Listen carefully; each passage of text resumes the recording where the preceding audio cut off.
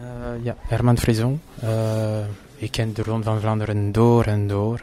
Dus je hebt zeker een goede analyse. Wat kunnen we van deze Ronde van Vlaanderen verwachten in het algemeen? In het algemeen, ja. Het is een heel zware ronde, dat weten we. Het parcours is uh, zwaar. voor ons, voor mij, zijn er drie favorieten. Ik heb ze straks opgenoemd. Dat is Sagan, Cancellara en van Avermaat. Dat zijn voor mij de drie grote favorieten. En daarachter krijg je toch uh, een groot groepje, selectgroep van uh, jongens van Sky, Jerens, uh, Van Marken.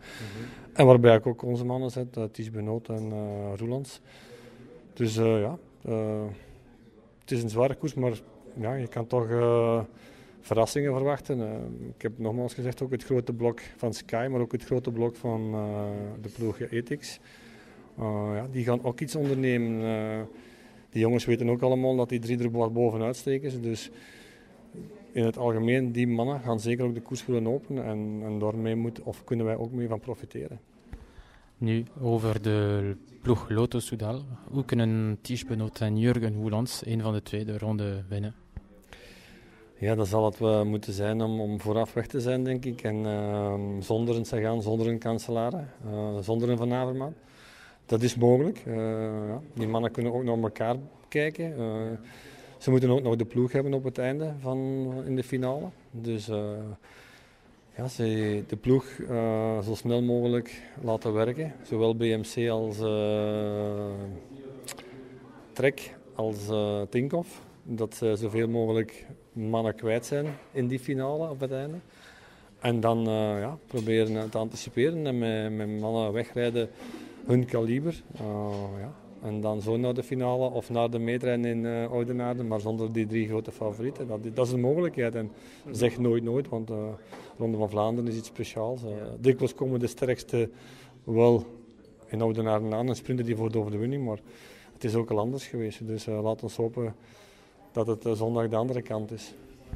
Is het mogelijk dat Tige Benot zomaar anticipeert zonder, zonder dat er geen reactie komt? Nee, dat is bijna niet mogelijk. Uh, ze zijn te, te bekend. Uh, het is een heel jonge renner, dus we hebben het straks ook gezegd, uh, ja, Roelands en een Ties Benoot laten ze niet zomaar rijden. Maar dat is hetzelfde probleem voor, voor Ethics. Die jongens laten ze ook zomaar niet rijden. Hetzelfde probleem voor Van Marken.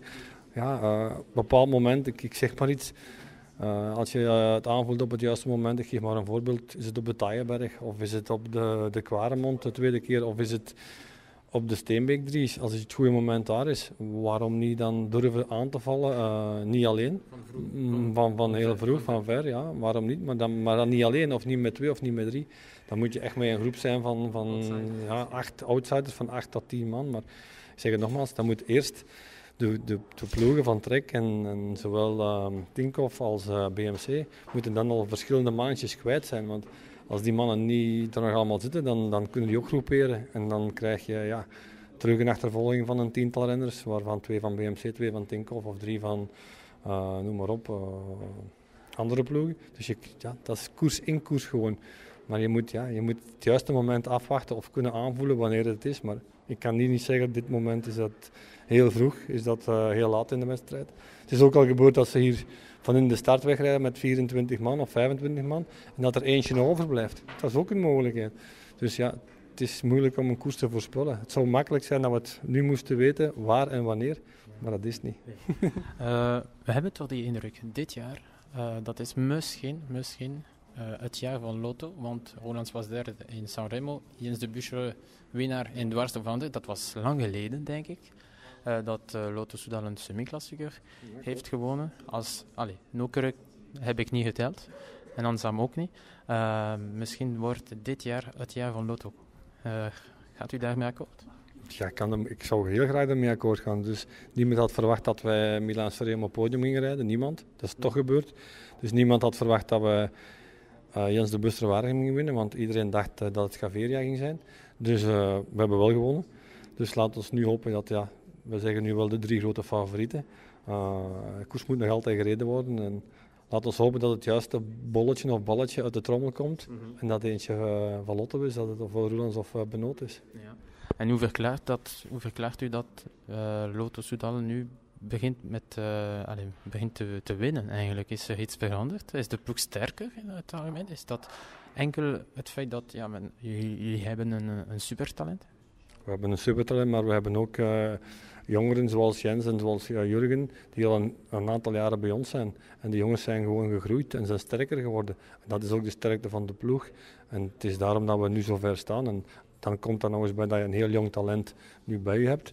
Ja, dan, dan krijg je gewoon meer mannen die je kan uitspelen in de finale. En dat is gewoon de kracht van, van de loterij. Van heel jong talent al lang bij ons, die bij ons op een rustige manier kunnen groeien. En die nu op een bepaalde leeftijd zijn dat ze moeten oogsten en, en ook resultaten rijden. En je ziet het uh, met de bussen, dan, dan kan er ook gewonnen worden. Ja. Uh, Grijpel rijdt uh, dit jaar dus de ronde, voor de tweede keer op rij. een beetje zoals vorig jaar waarschijnlijk, een dienende rol. Zeker weten, ja. Hij, heeft, hij komt terug uit een blessure. Dus uh, dat is uh, 100% in een dienende rol voor die twee mannen hier.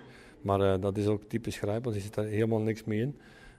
die wil ook gewoon rijden voor de ploeg, dat is ook zijn ambitie in, in, in, in de Ronde van Vlaanderen. En laten we hopen dat hij elke dag een beetje beter wordt en dat dan terug we hem kunnen uitspelen in de Scheldeprijs. Dat is wel een koers die hij kan winnen.